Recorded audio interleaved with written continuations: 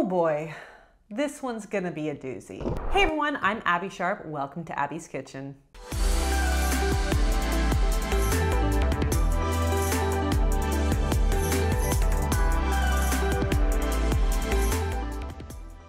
Today's video is sponsored by Aura, and we'll be reviewing ex Biggest Loser personal trainer, Jillian Michaels. But first, let me tell you about my sponsor, Aura. As you guys know, I have struggled with anxiety and insomnia for pretty much my entire life, so I have tried a lot of different techniques to unwind. But I recently discovered an award winning mindfulness and sleep app called Aura, which has been used by over 5 million people to date, and it's made a huge difference in my day. So, Aura includes thousands of amazing meditations and stories plus playlists on CBT, life coaching, and spirituality, depending on your needs and relaxation style. This isn't like other one size fits all apps because you fill out a short quiz, which will then give you personalized tracks based on your anxiety and sleep needs. My favorite section of the app is their morning meditations for better productivity and concentration, which has really helped to set my intentions and deal with my decision fatigue on busy days. So if you want to explore some new self care strategies, check out the link in my description box for a seven day free trial of Aura plus 25% off of your first year subscription. Also, of course, be sure to read my disclaimer, including a big, big, big trigger warning. Jillian isn't exactly known to sugarcoat diet advice, so please feel free to skip this video if it's not supportive to your journey. And if you are new here, ring that bell so that you never miss out on a video. All right, folks, as a quick little introduction, Jillian Michaels is basically the OG fitness influencer and has made her mark in the fitness industry through media appearances on talk shows and TV shows, most notably her stint on The Biggest Loser. She's also released countless fitness books and DVDs, hosts her own podcast, and even has a highly rated fitness app. So yeah, the girl stays busy. Even though Jillian is basically a household name in the fitness industry, she has come into some hot water for her controversial tough love approach to weight loss and dieting. Are you ready to work? Are you ready to work? There's honestly a lot of stuff that I could discuss when it comes to Jillian, but I'm really trying to keep these videos shorter. So today I'm gonna focus on her latest what I eat in a day video. And when I say latest, I mean at the time of filming, which as you guys know, is far in advance. So who knows, she could have an updated one since I filmed this. Let's take a look. I'm the common sense diet. I don't overeat, I eat all three macronutrients, and I try to avoid processed food 80% of the time. I try to make 80% of my food choices good ones, and 20% of my food choices are not so great. Uh, and that keeps me sane. Okay, so I know the 80 20 rule is more of a colloquialism at this point than an absolute percentage split.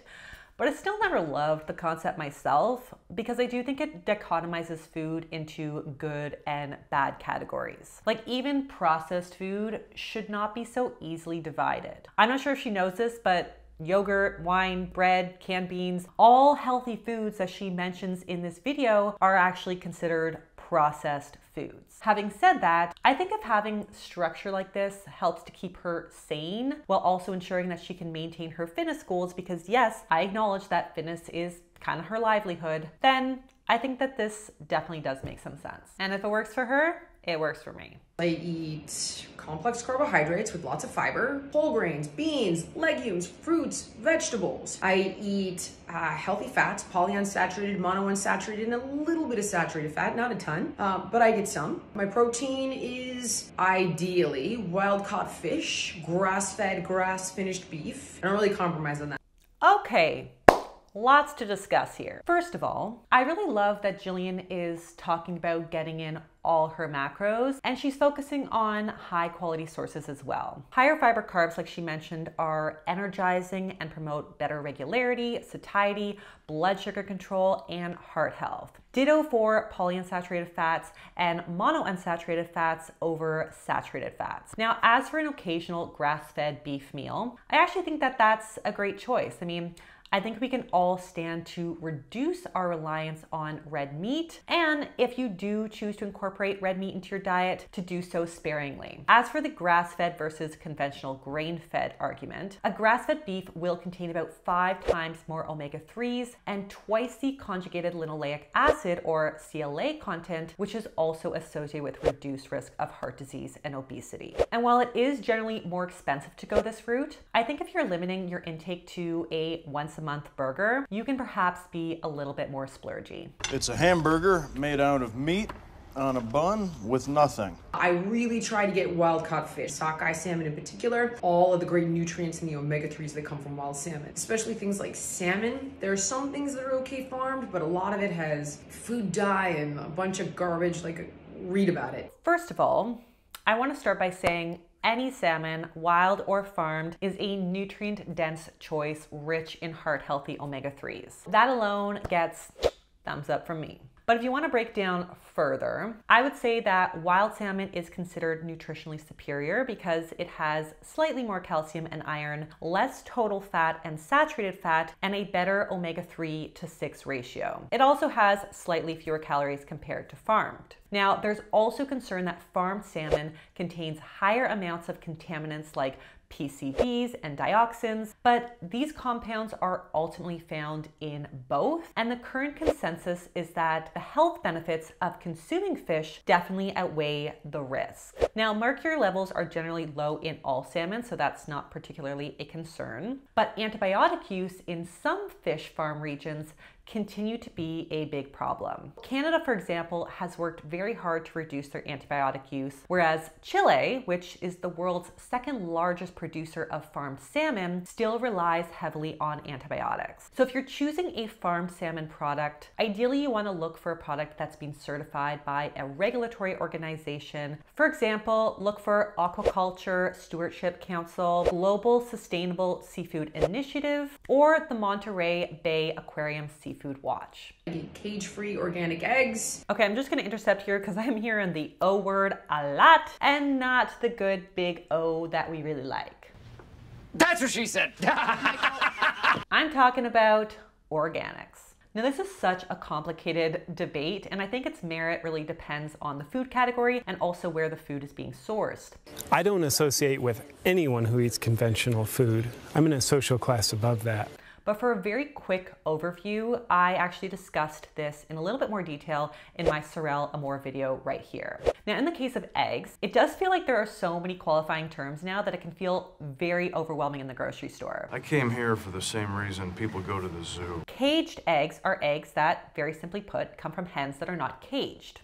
According to the USDA, the hens can freely roam a building, room, or enclosed area, but do not have access to the outdoors. If that was your preference, you would want to be looking for free range and or pasture fed, which is not a regulated term. But organic eggs are from cage-free hens who have some access to the outdoors and who are fed an organic diet free of conventional pesticides and fertilizers. Are these specialty eggs healthier than conventional? Well, when CBC Marketplace tested a variety of conventional and organic options here in Canada, they found that while did have more omega 3s than conventional, there otherwise weren't any major nutritional differences. But if you're concerned about humanely raised hens, my suggestion would be to get to know a local farmer and buy directly from them. I do organic grass fed yogurt. Okay, intercepting again because, again, organic.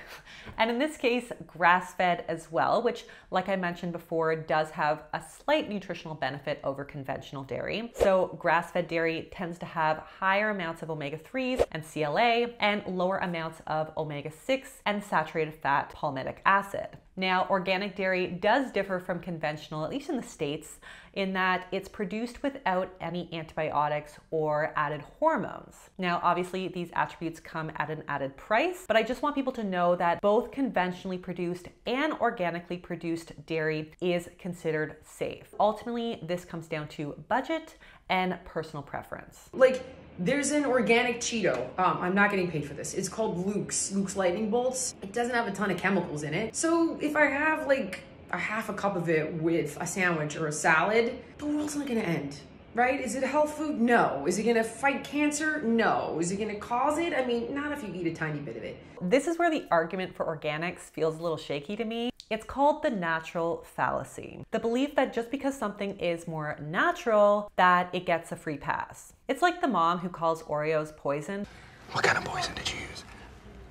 Dwight, I didn't poison you. I was kidding. but will buy her kid organic cream filled chocolate cookie sandwiches no problem. I'm not demonizing cookies of any variety, but they're still cookies.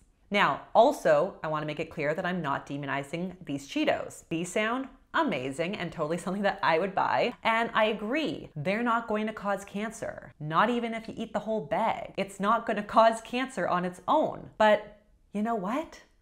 Neither is this. When we compare the ingredients in the organic Cheetos versus like a regular Cheetos, we can see that the organic ones do not contain any food dye, so that may be important to you if you are allergic or if you want to avoid looking like a chain smoker.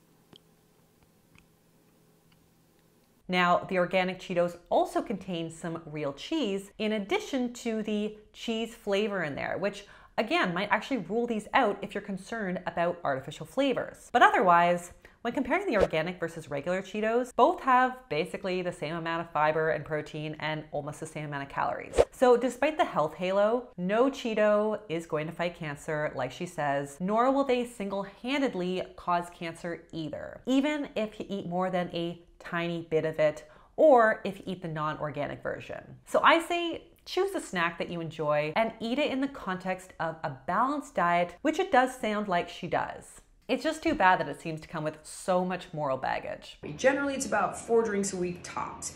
And I do red wine, white wine, and sake. Don't really do much else because I want the health benefits if I'm gonna drink, and I drink in moderation because studies have shown us that up to a glass a night or six drinks a week have health benefits. Okay, so obviously I agree. It's a good call to drink in moderation. I don't know where I felt like I get a little drink around here, do you, bud? And she is right that most of the literature suggests that light to moderate drinking has some health benefit, but heavy drinking has health risks. Now, I don't think that this research is reason to start drinking if you don't already drink, because there are way more nutrient dense ways in your diet to get those same benefits. But if you're enjoying a few drinks a week, I don't see a huge concern.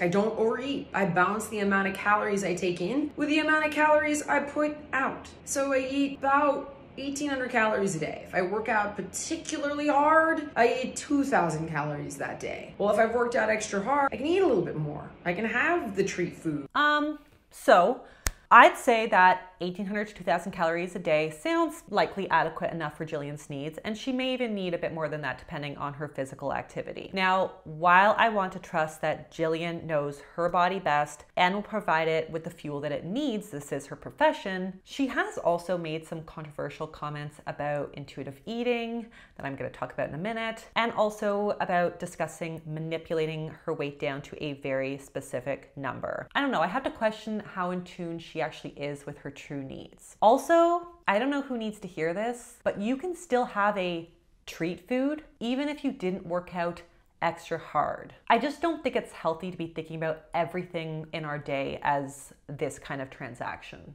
You know, add the, have a couple bites of my kids' mac and cheese. It's organic. Oh gosh, Jillian. I feel really sad for people who worry so much about others' validation and appraisal of their diet that they need to justify having a bite of their kids' food to absolute strangers. And honestly, I feel worse for people who have small enough lives that they actually give a Jillian, my dear, no one will judge you for eating non organic mac and cheese. I wouldn't even judge you for eating a whole box.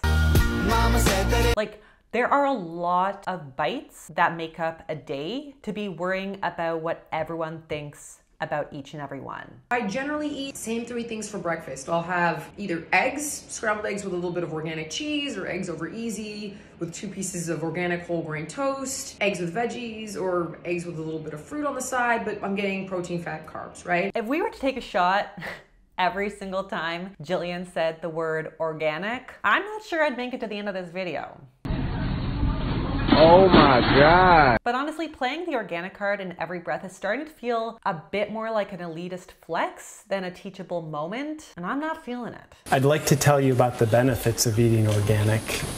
I'm not interested. But I will say, organic or not, this breakfast does sound solid. Like she says, we've got some protein and fat from the eggs and the cheese, and carbs from the toast and fruit. For my lunch, I'll usually do protein salad. It could be like a taco salad, for example, maybe with shrimp. So it has the black beans, the shrimp, some salsa on top, all my veggies mixed in. Occasionally I'll have a sandwich, but it could be even grilled fish tacos. I'm low key a little relieved that we didn't hear the big O word here, but I'm sure there's more of that to come. Having said that, these are all great options for lunch because, like she says, she's all about hitting all three macros at most meals. And while she didn't specifically mention like sources of fat, I would definitely be adding in like some guac to those tacos or salad and maybe a nice little pesto or cheese to the sandwich. For a snack, um, I'll usually have an apple. I don't really like almond butter.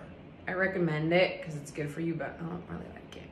So I have organic peanut butter, like an apple and peanut butter, or like a piece of fruit and an organic cheese stick, a little bit of trail mix, some dry roasted nuts, and a piece of fruit. But basically, again, the protein, fat, and carbs. I keep it super simple. First of all, it makes me kind of sad to hear almost like the embarrassment and shame in her voice when she admits to eating or liking something that doesn't conform to her food rules, like a bite of her kid's mac and cheese, or in this case, the peanut butter. Folks, Peanut butter is great.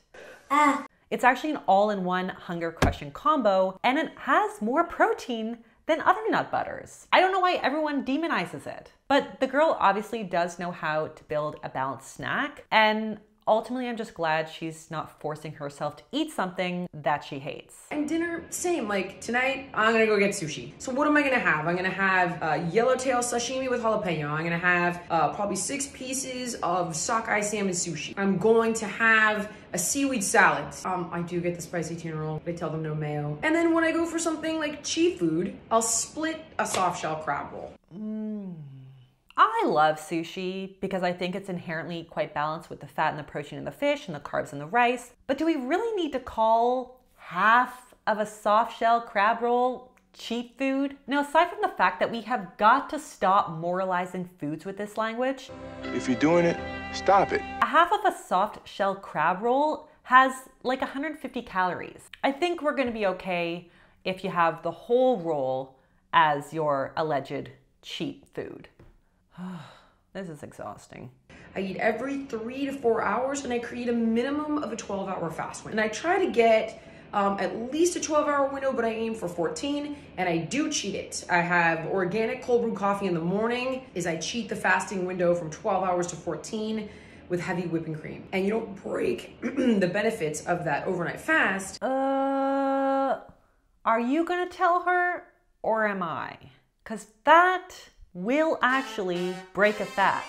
It might not kick you out of ketosis, but most of the benefits of ketosis aren't actually seen on super short overnight bouts like this, as it usually takes two to four days to get into ketosis to begin with. Also, heavy whipping cream, while high in fat, still contains small amounts of protein and carbs. There's a lot of things wrong with this little hack.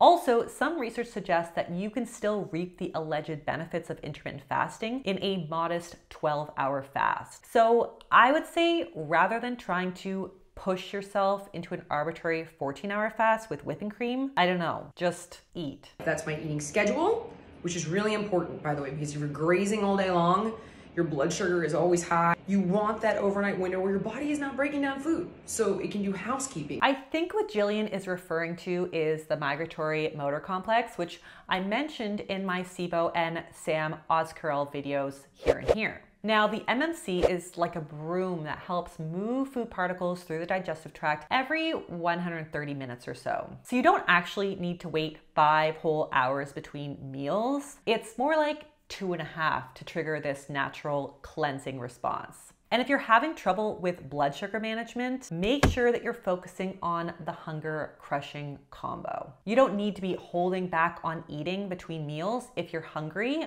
unnecessarily. Try to avoid the refined sugars and processed grains and all that crap. Drink in moderation. And I promise you'll be fine. Man, does anyone else find her healthy eating is so easy, stop complaining vibe like super condescending? I mean, I also acknowledge that I have no lived experience in a larger body, but at least I'm not over here suggesting that manipulating your body is an obvious walk in the park. So let's talk about my overall thoughts on Jillian's diet. Now, while Jillian coins her diet as the common sense diet, I would argue that her way of eating is actually not that common at all. That is, unless you're a Whole Foods groupie that can afford to eat exclusively organic, grass fed, cage free, and wild caught foods while shaming yourself over a single bite of organic mac and cheese or cheese puffs. Even though her diet sounds very well balanced and nutritious, of course, it's actually wildly inaccessible for most people. It's also interesting to me that even though she claims to follow the 80 20 rule to keep her sane, she still holds quite a bit of shame when she does give herself permission to eat treat foods, even if they are organic or something highly nutritious like peanut butter. It's as if she can't just let herself eat a cookie or donut as is without some sort of health halo around it to justify it. With that said, it's really no surprise to me that she dishes out diet culture rhetoric, like referring to meals as cheats or garbage, or suggesting that you need to earn your food through exercise, or demonizing inorganic processed foods. So while her body language and tone feels super chill and relaxed, if you listen to the words coming out of her mouth, it's clear to me that she's actually remarkably restrained. And given her controversial commentary on intuitive eating, which largely missed the mark, it's my feeling that Jillian can't really comprehend a relationship with food beyond dieting and weight loss. For example, in her video about intuitive eating, she constantly describes food and movement from the lens of seeing results, and not so much as something that is to be enjoyed or make your body feel good. In her eyes, giving yourself unconditional permission to eat the foods that you enjoy is a sign of lacking self control. She also denies that diet culture even exists and that our health, aka size, comes down to willpower. In other words, your size is a you problem and is something that needs fixing. Houston, we have a problem. So it's really no surprise that she's hell bent on suggesting that someone's size determines their health and that someone in a larger body can't possibly be metabolically healthy. And while I don't want to discredit Jillian's expertise, as I do know that she is a highly knowledgeable voice in the fitness space, I personally find her patronizing language around weight loss really difficult to swallow. Not gonna say it again! She has a tendency to overly simplify weight loss and wellness with a real condescending tone, as if you should feel guilty or dumb for not already following these simple rules, as if it's your fault that you can't be thin because, hey, this is common sense. I especially found it frustrating that she attempted to dumb down losing the last 10 pounds to what she describes as a few simple steps, like drinking more water, sleeping eight hours, and cutting out booze, which she said that alone will get it done. Um, raise your hand if you drink a ton of water and you still don't look like her. Jillian, my dear, you need a reality check. But I guess this is also the Jillian Michaels who was caught on camera motivating her clients by telling them that you can't stop unless you faint, puke, or die. Not my style, but appeals to someone, apparently. Honestly, I could rant all day, but I will save it for part two if you guys want. So on that note, that is all that I have for you today. Thank you again to Aura for sponsoring this video. If you liked it, be sure to give it the thumbs up. Leave me a comment below on who you'd like to see me review next. Subscribe to this channel, and I'll see you next time on Abbey's Kitchen. Bye.